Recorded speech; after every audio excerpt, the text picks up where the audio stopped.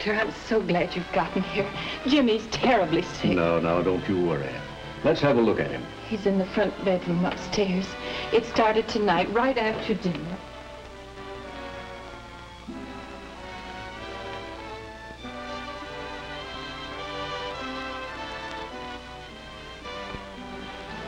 This is the third case of this kind I've had this week. Is it serious, Doctor? No, but it could have been.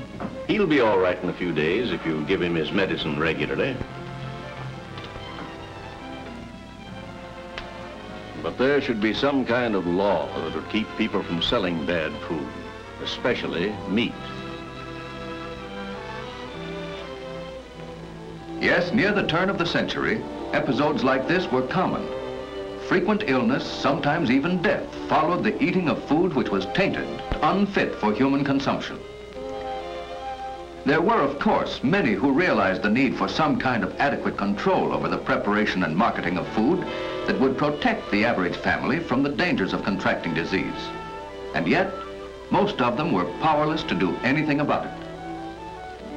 But one of those who felt he could do something about it was an author. He wrote a novel. It was not a pleasant novel. It was a bitter, overdrawn indictment of conditions which the writer Upton Sinclair believed existed in most of the packing houses of the nation. It told of conditions of filth and carelessness in the handling of meat, which were exposing the people of the United States to all manner of deadly disease. It was widely read, that novel, and those who read became concerned and aroused. It's an outrage. A man isn't safe even at his own dinner table. Something ought to be done about it. Why doesn't the government step in? Yes, the people of the United States violently exercised their constitutional right to demand that the government do something about the proper handling of meat for their tables. As a result, the president himself, Theodore Roosevelt, gave his personal endorsement to legislation that would create federal supervision of meat handling in the major packing plants of the nation. And so it was that in July 1906, a law requiring government control of meat inspection, reinspection, and supervision of processing and labeling was passed. From that time right up to the present, that law has had a profound effect upon the health and well-being of every American citizen. To enforce the law, to make sure that meat of all kinds was properly inspected for wholesomeness and purity, a federal meat inspection service was set up and charged with the responsibility of seeing that all meat handled in interstate commerce or for export was carefully examined from the live animal to its final form. That is why today, more than two-thirds of all meat sold bears this small purple stamp, the stamp of wholesomeness, backed by the assurance of Uncle Sam himself, on which it is imprinted, is free from disease and can be eaten without fear of contamination. Probably all of us at one time or another have seen the little purple stamp on meat that we bought at our local butcher shop. But not many of us have been aware of what is behind that stamp. The complex organization and devoted attention to detail that is part and parcel of Federal Meat Inspection Service. As a matter of fact, the placing of the purple circle of wholesomeness upon a piece of meat is the very last and least important of the many, many acts which precede it. The story of meat inspection begins in the Department of Agriculture building in Washington, where the Meat Inspection Division coordinates the activities of inspectors all over the country, engaged in this and many other kinds of inspection work. These inspectors are highly trained men. Many of them are graduate doctors of veterinary medicine, and all have had to pass rigid tests as to ability and character, because in their hands lies the responsibility for maintaining the wholesomeness of the meat we eat. Their activities are wide and varied, but their word is law around every major packing plant, and they are generally looked upon as wise counselors in all matters pertaining to the handling of meat. Actually, the inspection service starts with the very structure of a packing house itself, because the physical attributes of places where meat is handled are of direct interest to the meat inspection service. They must conform to very high standards and thousands of details, even such things as hand washing facilities and the screens on the windows, come under the careful scrutiny of the inspectors before a packing plant becomes entitled to government inspection service. The result is that the places where the meat we eat is processed are models of cleanliness. But now, let's see some of the many, many ways that our government's inspection of meat protects our health and guards the wholesomeness of the beef, veal, pork, and lamb that we buy at the butcher shop. Take these fine fat steers, for example, brought from a western state to a mid-continent packing plant. They, with many others, are first confined in a holding pen, so they can be closely examined by meat inspectors before slaughter. The holding pens are so arranged and so lighted that the inspectors, assisted by employees of the packing company, can study the animals when they are at rest and when they are moving. This makes it possible for the trained eye of the inspector to pick out any which show evidences of unhealthiness. When such an animal is found, it is segregated from the rest in a separate pen, while the healthy ones are passed on into the packing house for slaughter.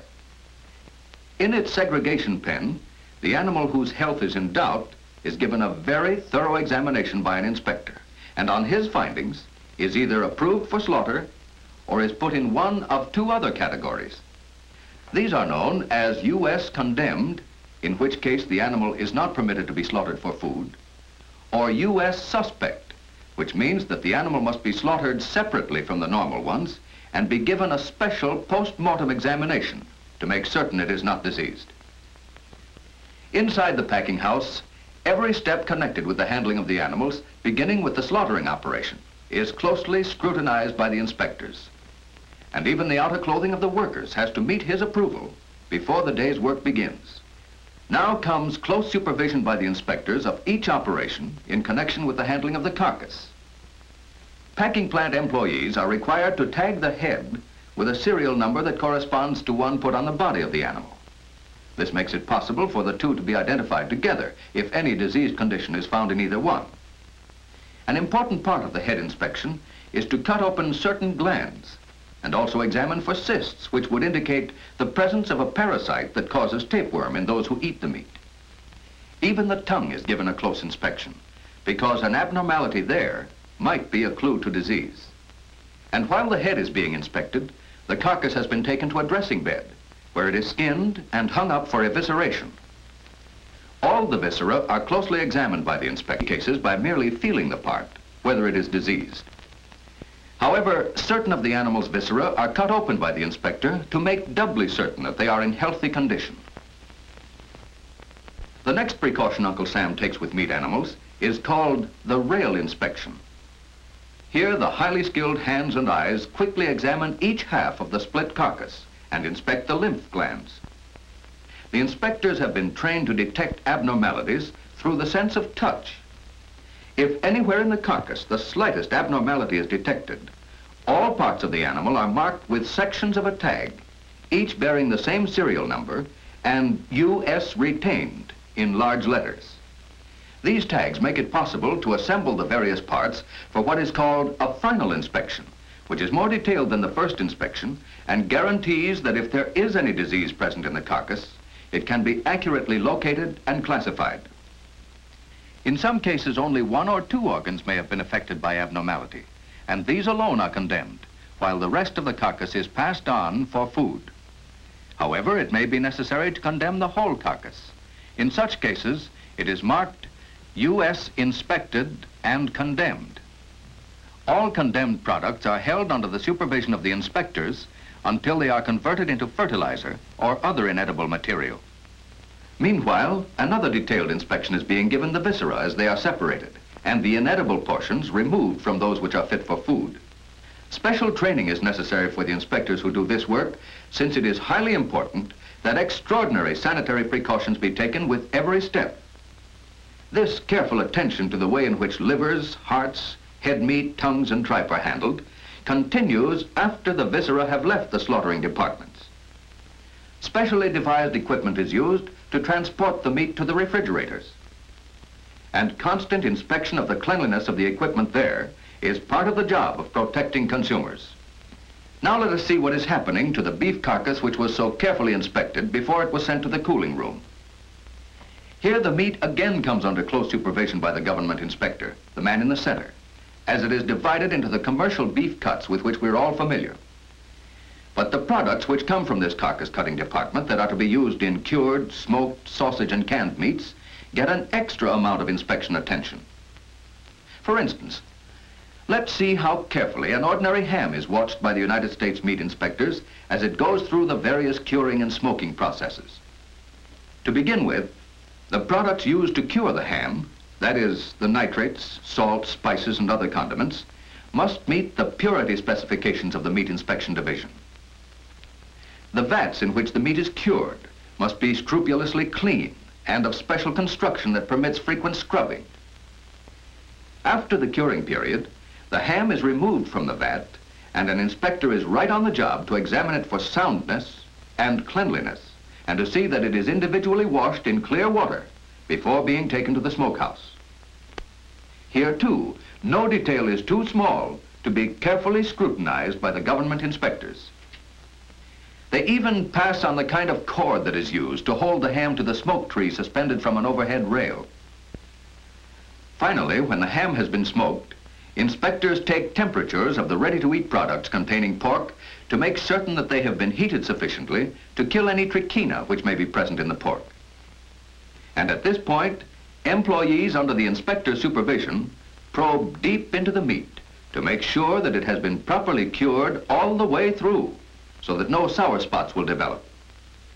This same careful supervision by the inspectors of smoked meats extends to all kinds of processed meats.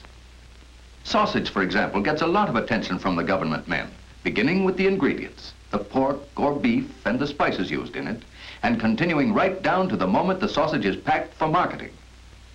But the work of the inspectors is not limited to guarding the wholesomeness of fresh meats, ham, sausage, and the like.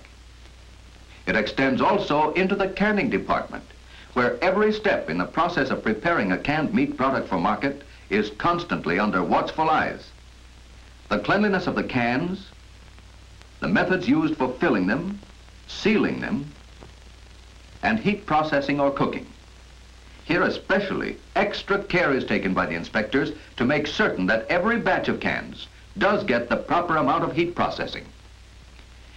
And this is done in an ingenious way by fastening to every basket of cans a colored tag, which changes color after the basket has gone through the heat processing.